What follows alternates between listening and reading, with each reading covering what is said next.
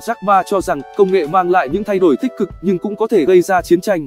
Tại hội nghị thượng đỉnh Davos, ông chủ Alibaba Trung Quốc cảnh báo chúng ta cần phải cảnh giác.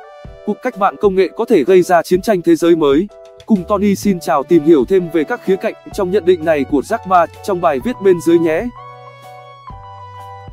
Dự đoán của Jack Ma về sự phát triển quá nhanh của công nghệ Người sáng lập Alibaba cho biết xuyên suốt lịch sử, nguyên nhân dẫn đến chiến tranh thế giới đều bắt nguồn từ sự đổi mới công nghệ.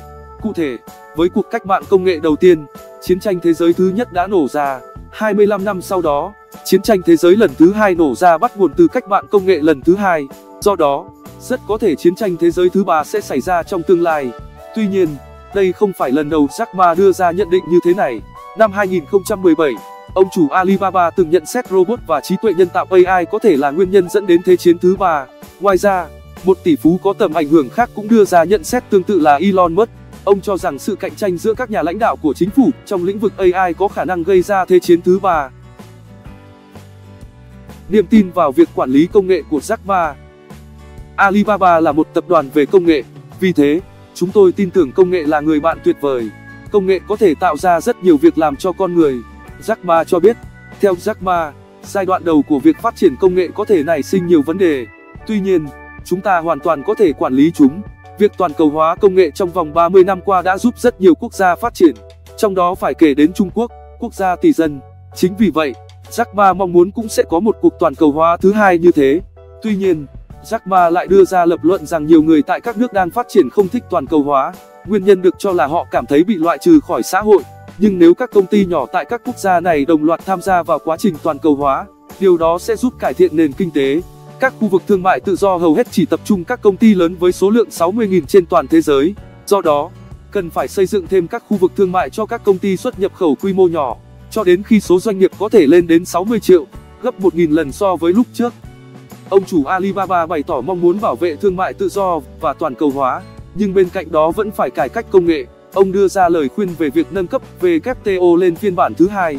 Đồng thời, các giao dịch dưới 1 triệu đô la Mỹ cần được miễn thuế hoàn toàn. Lợi ích không thể phủ nhận của sự phát triển công nghệ.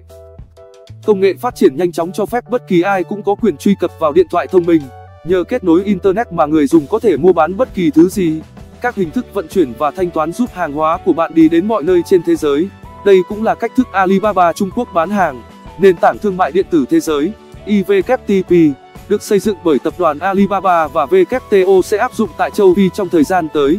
Thiết kế của nền tảng tạo thuận lợi cho các cuộc giao dịch dưới 1 triệu đô la Mỹ hoặc giao dịch miễn thuế. Theo thử nghiệm, nông dân ở Wanda, một quốc gia ở châu Phi, nhờ IVKTP buôn bán cà phê trực tuyến cho Trung Quốc. Sau vụ mùa, mỗi kg cà phê họ nhận về 12 đô la Mỹ, tăng gấp 3 lần so với trước đó. Ngoài ra, máy móc dần thay thế con người cho những công việc nguy hiểm, chẳng hạn như theo dõi việc biến đổi khí hậu. Các dữ liệu phân tích được thu thập sẽ giúp các chuyên gia đưa ra kế hoạch. Các nhiên liệu hóa thạch sẽ được sử dụng một cách thông minh hơn. Tuy nhiên, Jack Ma cũng lưu ý rằng công nghệ không thể thay thế con người. Tương lai trước mắt vẫn nằm trong tay của những người trẻ tuổi. Hy vọng Tony xin chào vừa giúp bạn biết thêm về thực trạng phát triển công nghệ hiện nay, cũng như lời cảnh giác về sự phát triển công nghệ quá nhanh của Jack Ma.